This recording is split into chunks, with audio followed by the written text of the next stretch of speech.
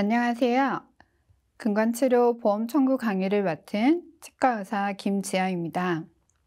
총 3주간 강의를 진행합니다. 1주차는 기본편으로 각 항목별 청구, 상병명에 대해서 보도록 하겠습니다. 그리고 C형근관 청구에 대해서도 간단히 보겠습니다. 2주차에는 실전편으로 내원 횟수별 실제 청구에 대해서 살펴보겠습니다. 3주차에는 심화편으로 최신 경향을 살펴보고 CT, C형 근관, 삭감당하는 항목의 내역 설명 등에 대해서 알아보겠습니다. 첫 번째, 1주차 근관치료 청구의 기본편입니다.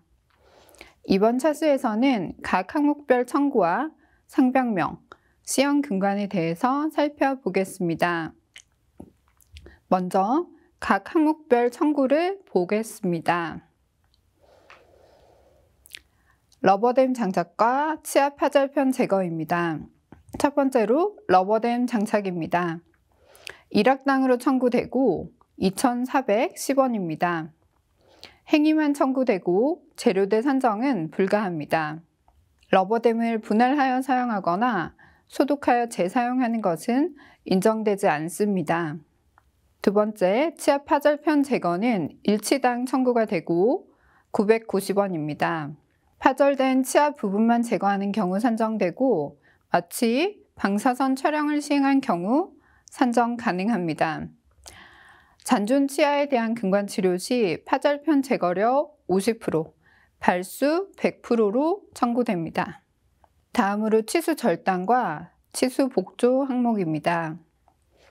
치수 절단은 일치당으로 청구되고 9,130원입니다. 치료 후 FC 교환은 보통 처치로 2, 3회 청구 가능합니다. 치수 절단 시 사용된 재료대는 별도 산정이 불가합니다. 치수 복조 항목입니다. 치수 복조는 일치당 청구되고 2,240원입니다. 이때도 간접, 직접 치수 복조 시 사용된 MTA나 GI 등의 재료대 별도 산정은 불가합니다. 즉일 충전 처치 항목입니다. 즉일 충전 처치는 일치당으로 산정되고 9,330원입니다.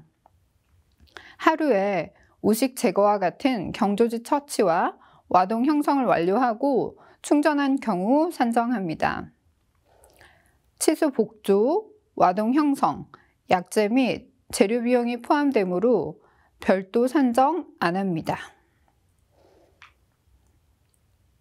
다음으로 근관 와동 형성 항목입니다. 근관 와동 형성, 액세스 오프닝 과정은 1근관당으로 청구되고 5,440원입니다.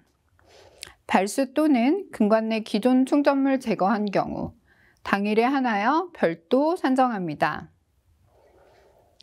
다음으로 발수 항목입니다. 역시 1근관당으로 청구되고 5,440원입니다. 실제 근관 수대로 발수 완료일에 1회 하나여 산정합니다. 바비드 브로 치는 330원, 리머 또는 파일은 540원 산정합니다.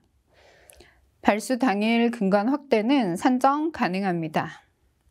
나이타입 파일이 급여화되어서 12,000원이 책정됩니다. 환자는 본인 부담금인 30% 3,600원만 부담하고 나머지 70%인 8,400원은 공단에 청구하면 됩니다. 나이타입 파일과 기존 파일을 각각 사용한 경우에 하나만 인정하게 됩니다.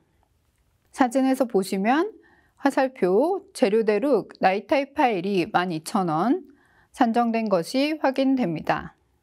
다음으로 근간 확대와 근관 성형 항목입니다. 근관 확대는 1근관당입니다. 수가는 3,750원입니다. 근관 확대는 치료 기간 중 총 두번까지 산정 가능합니다. 유치의 근관 확대 청구가 가능한 경우가 있습니다. 세 가지 경우인데 첫 번째, 감염된 근관인 경우 두 번째, 후속 연구치가 없는 경우.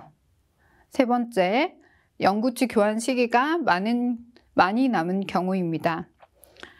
각각을 내역 설명에 쓰면 되겠습니다.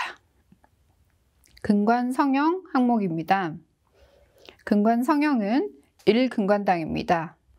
수가는 3,980원입니다. 근관 확대 시 근관 성형을 실시한 경우 2회 별도 산정하고 단독으로는 사용될 수 없습니다. 두 번 산정한다는 것을 알아두셨으면 좋겠습니다. 다음으로 근관 세척입니다.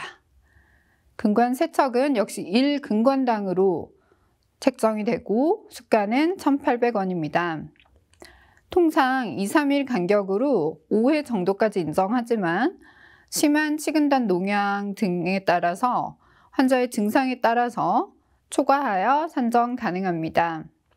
내역 설명에 쓰면 됩니다. 발수, 근관 충전 시에는 별도 산정이 불가합니다.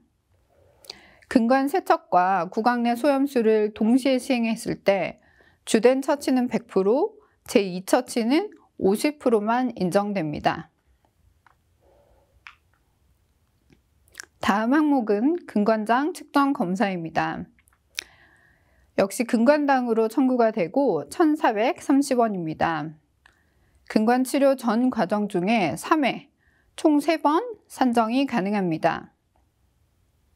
측정 수치를 차트에 기록해야 인정이 됩니다. C형 근관은 근관당 2,000원으로 산정되어 있습니다.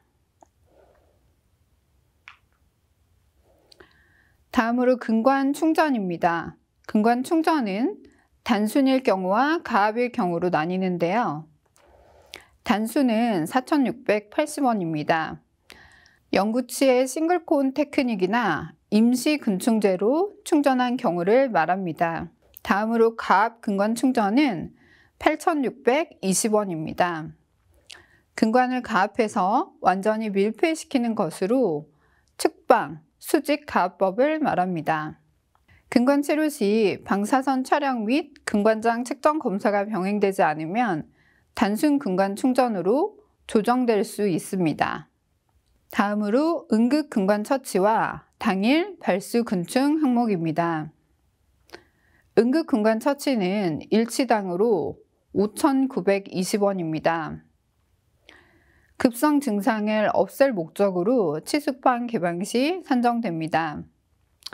마취, 방사선 등 별도 청구가 가능하지만 재료대는 청구가 불가합니다.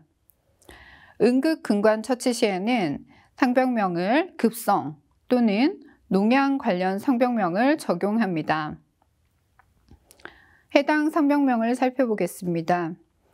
K04.4 급성, 근단 치주염이나 K04.6 동이 있는 근단 농양 등이 해당됩니다. 응급 근관 처치 시에는 상병명을 꼭 확인해 주시기 바랍니다. 당일 발수 근충 항목은 1근관당으로 적용됩니다. 32,710원으로 당일의 발수부터 근관 충전까지 완료한 경우에 해당합니다. 발수, 근관 확대, 근관장 측정 검사, 근관 성형, 근관 세척, 근관 충전 비용이 모두 다 포함이 됩니다. 이때 마취, 방사선 재료대 등은 추가 가능합니다. barbed broach 사용 시 330원, reamer 또는 파일 사용 시 540원, NiTi 사용 시 12,000원이 산정됩니다. 영구치의 당일 발수 근충은 32,710원, 유치는 19,620원입니다. 오늘은 근관치료 시 청구 항목에 대해서 살펴보았습니다. 2부에서 뵙겠습니다.